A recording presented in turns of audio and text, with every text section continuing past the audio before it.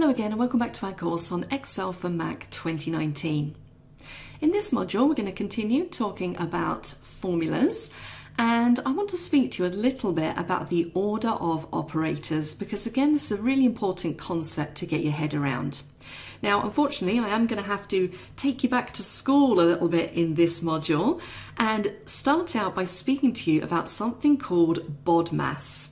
And you can see I've got it listed out across my spreadsheet. And this may be something that you remember from school. I certainly do. I remember the teacher writing this up on the chalkboard, which gives you an idea of my age. We were still using chalkboards.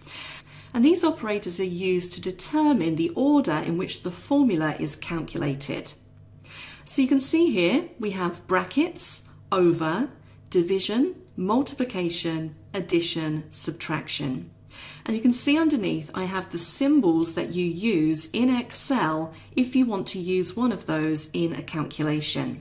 So what this essentially means is that Excel will calculate anything that you put within brackets first. It will then do any divisions, then multiplications, then additions, and finally it will do subtractions. So why does this matter? I'm going to show you a very, very simple example. If I was to type into this cell equals 10 plus 6 divided by 2. Now, in my mind, the answer I'm looking for here is 8. I wanted to do 10 plus 6, which will be 16, and then I want it to divide by 2, which will give me 8. If I press enter, however, Excel gives me an answer of 13. But why is it doing that? Well, if we go back and take a look at that formula, what Excel is actually doing is 10 plus 6 divided by 2.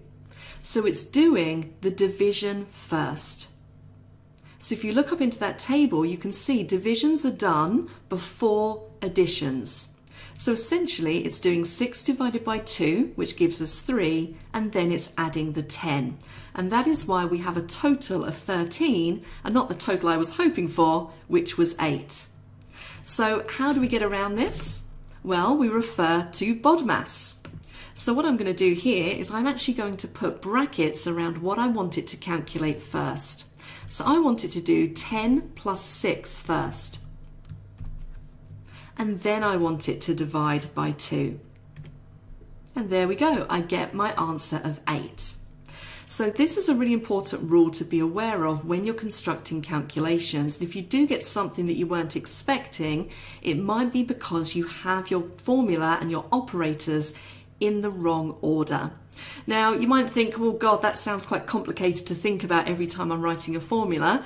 You will find as you use Excel, it just kind of becomes second nature to you. You kind of always start out with your brackets and then you do everything afterwards. But as with anything, this does take a little bit of practice. So remember the BODMAS rule when you're doing calculations.